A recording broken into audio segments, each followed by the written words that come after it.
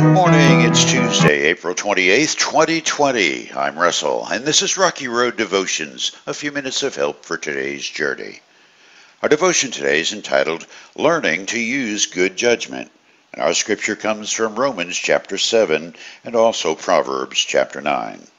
Paul writes, I don't really understand myself, for I want to do what is right, but I don't do it. Instead, I do what I hate. And then Solomon writes in Proverbs 9 Leave your simple ways behind and begin to live. Learn to use good judgment. If you've ever had a wood splinter in your finger, you know it'll nag you with a painful reminder every time you grip something. If you've ever had a paper cut, you understand you're going to manage to rub it the wrong way at least 28 times a day. And if you've ever read what Paul wrote about doing stupid stuff while failing to do smart stuff, you're well on your way to comprehending why the whole idea of wisdom is not to cram your head full of thoughts, good, bad, or trivial. It's all about being able to live in a way that makes sense in three ways. First is the ability to be in right relationship with your Creator. Second is the pathway to being in right relationship with your community. And thirdly is the pathway to being at rest, having peace within your own heart.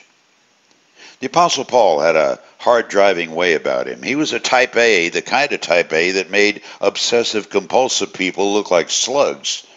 He had to get clobbered on the Damascus Road with a spiritual two by four to wake up to the fact that his wisdom was nothing but a splinter of foolishness driving him into the ground. Paul knew this every day like a paper cut. It nagged him, but he couldn't shake living like that. And then he met Jesus, and things began to change. His so called wisdom began to show itself for what it really was pride masquerading as being right. He not only had to rethink his behavior, but everything about his life. It took a long time to sink in according to Galatians 1 and 2, about 14 years in all. But he finally learned how to submit his life to godly control. And with that came wisdom for really living. The Apostle Peter had much the same problem, but with a different pedigree. Peter was not an astute rubber of elbows with the higher ups like Paul was. Peter was a common, uneducated fisherman but he occupied a big space, having been on the so called inner circle with Jesus and a chief leader of the early church. Peter's impetuous roller coaster life of being hero one moment and coward the next made him a perfect pastor. By the time he figured out his selfish, prideful ways were destroying whatever manhood God had given him, and he was making a mess of his life and witness, Peter had grown to know how to counsel the rest of us who would come behind. Peter had walked with Christ, denied him three times, and been forgiven. That was a taste of the divine. And Peter had learned to cling to God's ways over his own way of crashing through life like a bull in a china shop.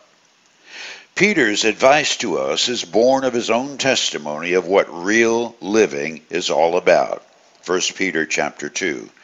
So get rid of all evil behavior. Be done with all deceit, hypocrisy, jealousy, and all unkind speech. Like newborn babes, you must crave pure spiritual milk so that you'll grow into a full experience of salvation. Cry out for this nourishment now that you've had a taste of the Lord's kindness. For you today, if you've been driven with trying to do better, do more, get more, and experience everything, you're in a place where Peter and Paul called home. Solomon also tried to live life on his own terms. Maybe it's time to heed what these wise men had to learn the hard way. Wisdom is hard to come by, but when you give in to God's way, good judgment is on the way. You chew on that as you hit the rocky road. Have a blessed day.